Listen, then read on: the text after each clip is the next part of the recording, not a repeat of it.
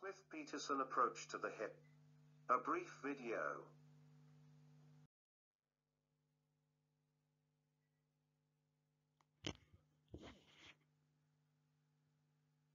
Indications. Pelvic osteotomies, hip fusion, open reduction of a hip dislocation, femoral head fracture, open reduction, tumor biopsy and excision, treatment of femoroacetabular impingement, irrigation, and debridement of septic native hip.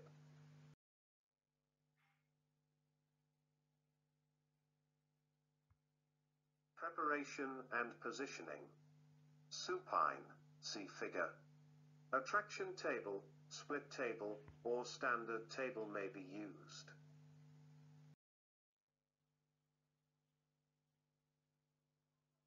Step 1. Supine, radiolucent table. Step 2.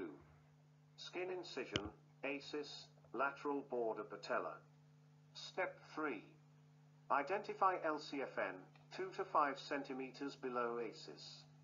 Step 4. Interval, tensor fascia latae and sartorius.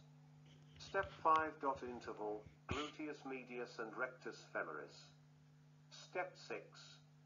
Tag, rectus femoris, identify lateral femoral circumflex artery. Step 7. Capsulotomy, T-shaped. Dangers. Nerves. Lateral femoral cutaneous nerve usually located 1 to 3 centimeters medial to the ASIS, has a variable course. Patients should be warned of the possibility of damage to this structure.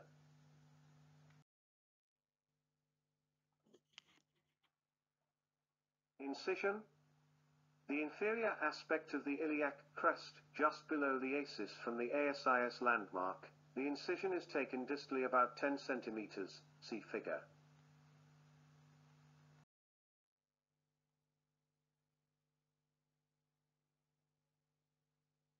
Superficial dissection. Subcutaneous dissection is taken in line with the incision to underlying fascia of the tensor and sartorius muscles. The lateral femoral cutaneous nerve emerges from the fascia just distal and medial to the ASIS over the sartorius fascia. Externally rotate the lower extremity to place the sartorius under a passive stretch to aid in dissection at this interval. Identify the interval between the sartorius, femoral nerve, and the TFL, superior gluteal nerve, as this is the internervous plane.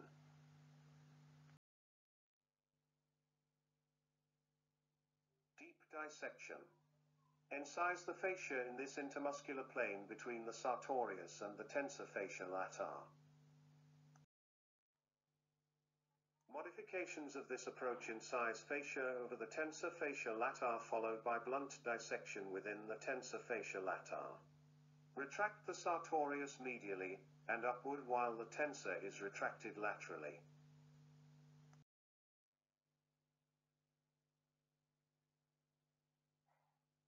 Tensor can be detached from the iliac crest if necessary.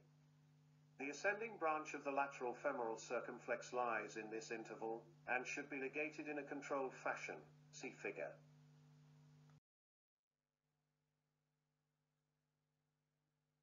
Deep dissection. The rectus femoris and gluteus medius muscles are now exposed in the field. Detach the rectus femoris from its origin, AIS and the anterior lip of the acetabulum and capsule. See figure. Deep dissection. The hip capsule is now exposed and can be tensed by externally rotating and extending the hip. The hip capsule is cleared off with an elevator and properly identified by internally and externally rotating the hip joint. Deep dissection. T-shaped capsulotomy performed to expose femoral head and neck. Femoral head exposure. See intraoperative photograph that demonstrate femoral head fracture. Fixation of femoral head. Intraoperative photograph that depicts temporary fixation of the femoral head fracture with K-wire. Closure. The capsule is repaired according to the procedure being performed. Rectus femoris repaired anatomically. See photograph. The superficial fascial interval is repaired subcutaneous tissue and skin are closed accordingly.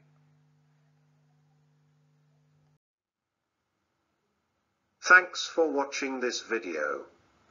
Do not forget to subscribe to my non-profit YouTube channel.